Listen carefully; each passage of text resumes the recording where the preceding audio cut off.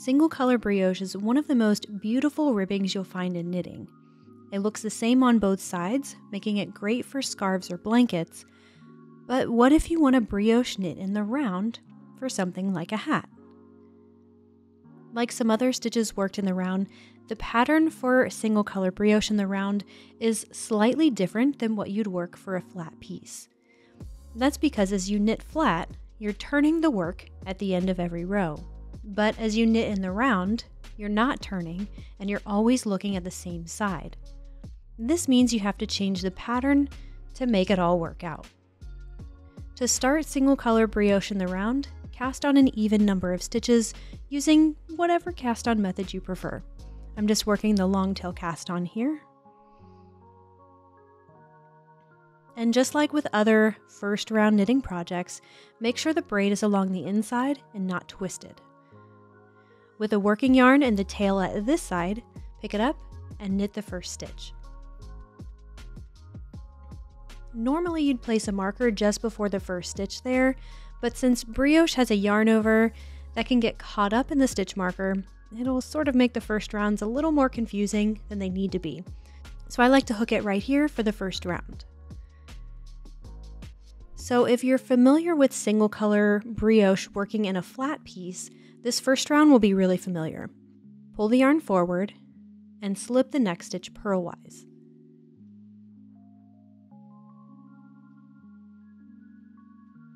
Then with the yarn still forward, knit the next stitch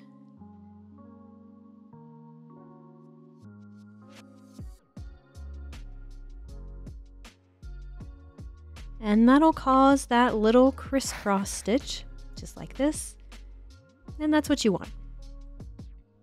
You'll simply repeat that sequence to the end of the round. Pull the yarn forward, slip one purlwise, and knit with the yarn forward.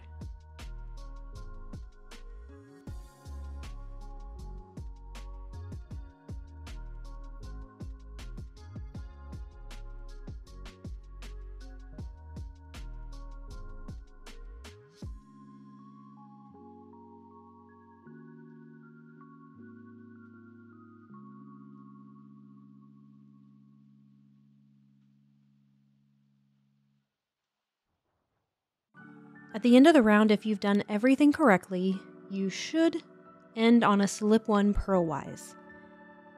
Now to start the second round, we also need to slip this stitch. But unlike the last row, we need to wrap the yarn around first. And we'll get to why in just a minute. Then slip it purlwise. All right, next we have a brioche stitch here the little crisscross one. And to work the next stitch, we have to wrap the yarn around the needle again. This time, we'll brioche purl.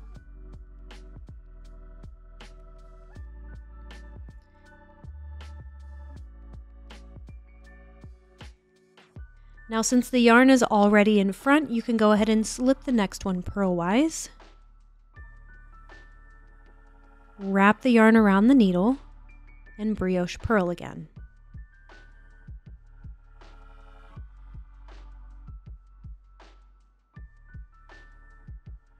And that's the repeat. By the way, if you want to see written instructions while you're following along, which is a great idea, or if you're wondering about the yarn I'm using or the needle size I'm using, just pop down to the description box below. I'll have a link that'll take you straight to my website where you can find that information as well as some project inspiration for the brioche stitch.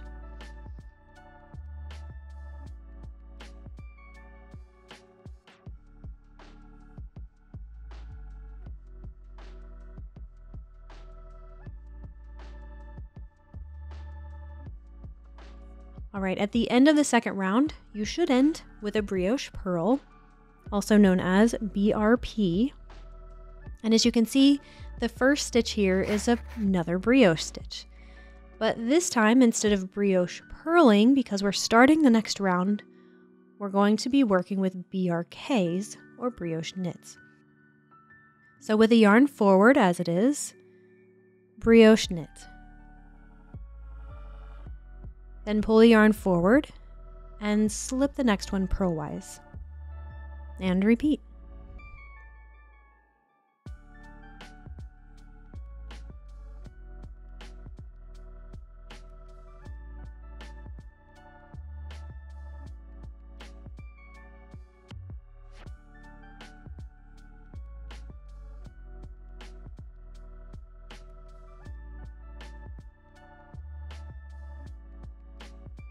Want an ad free experience?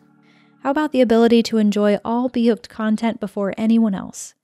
Members of my Patreon community not only get to watch all videos completely free of ads, but they also get the PDF for all new patterns. Choose the Insider Preview tier for these perks, or if you really love patterns, choose the Insider Plus tier to unlock an additional 76 classic B.Hooked PDFs, as well as the entire archive of patterns released in 2021. Join my Patreon community today for all of these perks, as well as customized pattern support if you need it. You can cancel at any time if your financial situation changes or if you simply change your mind. Links in the description below. Okay, we're at the end of the third round here, and your work should look something like this, ending with a BRK. You've probably noticed me carrying the stitch marker as I go, and once you've made it this far, you can really start placing it on the needle like you're already comfortable doing. So let's talk about the stitch for a minute. We've already seen the repeat. Believe it or not, the stitch looks very complicated, but it's really just a two round repeat. Rounds two and three are the repeat for the pattern, so if you're feeling comfortable with things, keep repeating rounds two and three until the project measures the length you want. Then jump forward just a bit to the bind off. But if you're anything like me, when I first learned this stitch, I felt like I'd never memorize the pattern and I'd be stuck with the pattern glued to my forehead. And it doesn't have to be that way. Let me share some tips. First, recognize that this stitch pattern requires a brioche knit and a brioche purl round to make it all work. Just like the garter stitch in the round needs a knit and a purl round to make the pattern, this one's sort of the same way. The lack of flipping the work is the reason for this. Second, when you're working a BRP round, the slipped stitches will align with the braid, and the brioche stitches will align with the groove. By the way, single loops or stitches like this will always be slipped, so you can just go ahead and commit that one to memory.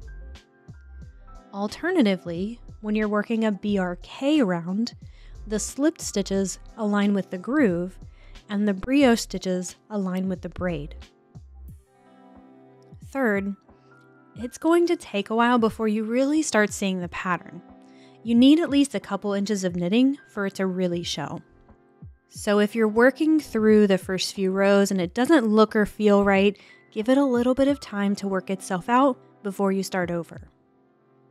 Another thing to take note of is the BRP looks ever so slightly different from the BRK. Recognizing that difference might help you figure out where you are in the pattern if you have to put it down for a while. And here's a bit of practical advice too. The first few rounds are really finicky, and when you're trying this for the first time, just expect that you'll have to rip it out and start again a few times.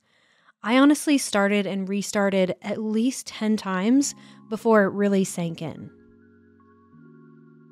Whenever I try a new stitch in the round, I like to work on a 9 inch circular like this, something you'd use for a pair of socks or mittens because it requires fewer stitches to wrap around than a 16 inch circular. I'm knitting fewer stitches, therefore, it's not taking quite as long so when I get to the point where I've made a mistake or I feel like things are wrong and I have to rip it out and start over, I have less time invested. This yarn, by the way, is gorgeous, right? It's Ferris Wheel from Lion Brand, and the color is called Cherry on Top.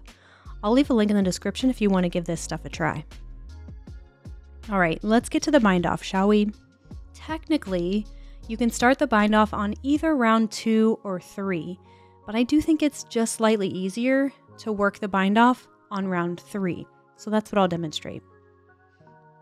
So after you've finished a second row, the next stitch here is a brioche stitch. So go ahead and knit that one, but we're not going to count that in our bind off just yet.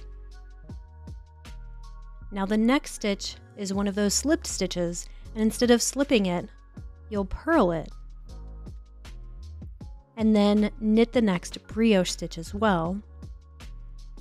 And pass that purl loop over this last one. And the next stitch is another slip stitch. You'll go ahead and purl that one. And pass that first loop over the last.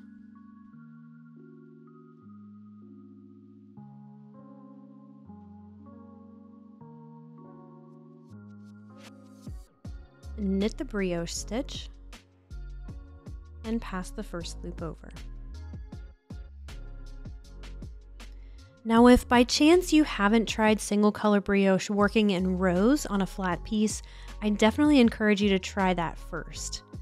The repeat is just a single row, and it'll help you build that muscle memory you need for this one.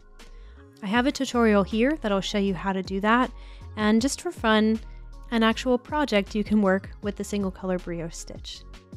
Happy knitting, and I'll see you in the next one.